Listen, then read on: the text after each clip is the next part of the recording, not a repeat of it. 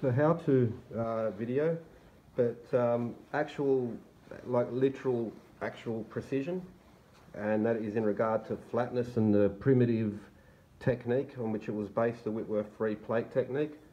I have a third plate over there. Like you need three plates really to do it, um, or three surfaces to, you know, so it's the free surface technique. Uh, and I have, uh, you know, if I was to, again, it's gonna, now the mirror fit, there are some places I can see now, maybe the camera's not picking it up where I get the mirror um, reflection in there.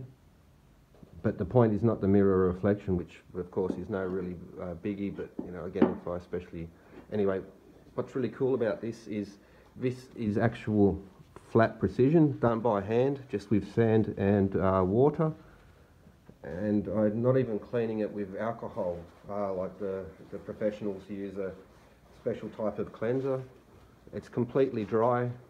You know, it's not like this is not going to be a trick of oil. I'll post uh, in the links. I'll drop some. Sim, uh, if you look up um, floating a granite surface plate, and these things are so they're pr precise, and by precise I mean a couple of microns across the entire surface, not on one little spot. Um, on one little spot, they would be less, they would be actual flatness, not surface roughness indicator, but actually flat, uh, a micron, um, maybe less, maybe a little bit more, but across the entire surface, there, there's a few microns of difference in, in true flatness. And um, I'll take it to get properly measured at uh, Chemet Australia but actually, again, it, before you don't need this to do that. And how can you do it? How can you test it? Does it float?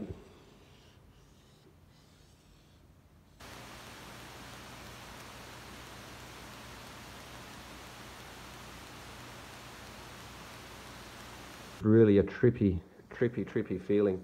It's um, again, it, this is so flat and in, uh, I mean not lost high technology flatness, I mean actual real life flatness, that uh, these things float. It's, it's like gravity doesn't exist. It's uh, even bearings, it, you know, of um, with some, even with some preci you know precision bearings, just the the way it it it, it floats. It's so so weird, um, and uh, yeah, I'll post the how-to video, but it's basically the Whitworth three plate technique based on an ancient polishing technique. And uh, there are a few spots where it will stick, but like where it is sticking, that's a good sign as well that the surfaces are so perfectly mated that they, they're almost bonding.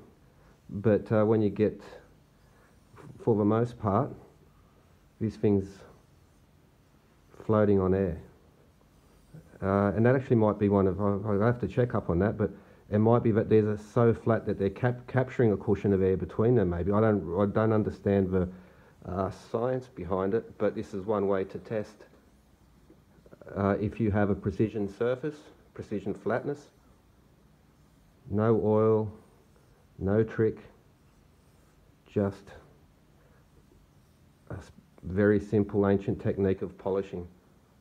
And there we have oh God, this is trippy. This is really, really, this is fun. I could do this all night.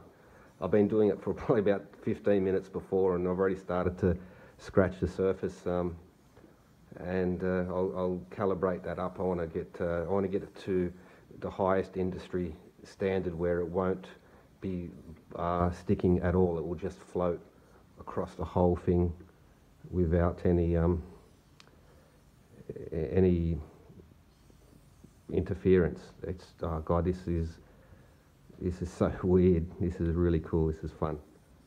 But uh, yeah, so Whitworth three plate technique.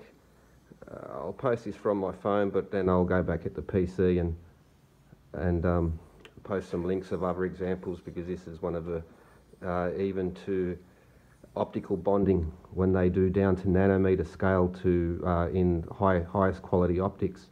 One of the ways that they test is that, uh, that the lenses float.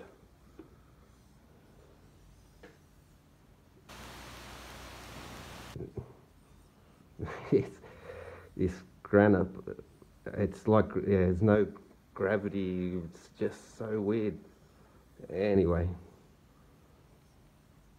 uh, so this would be again one way to, you could ultimately, like claims of flatness in regards to precision uh, lost high technology. So the light would give it away, but uh, uh, just to put another uh, flat surface against it, and if it floats, it would be precision. But you can just see by the pitting and the bonding that they're not flat. Uh, this is this is done with sand and um, sand and water, and just a, a bit of a rhythm to the polishing.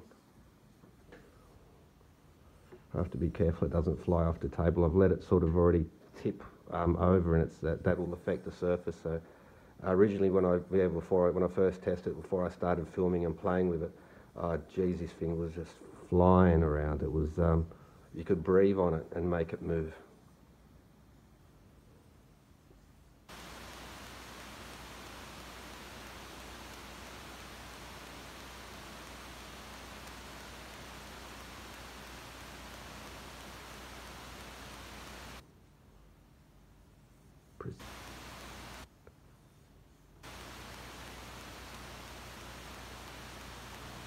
Like it really is weird.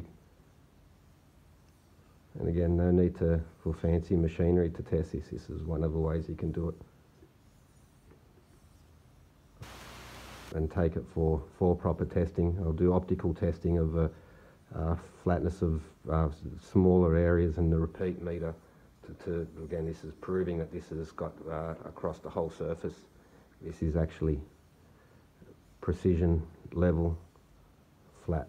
Not the highest standard, maybe at the start before I scratched it up and mucked around with it too much, but I'll get there. Um, a few minutes of polishing, um, grinding and lapping it down.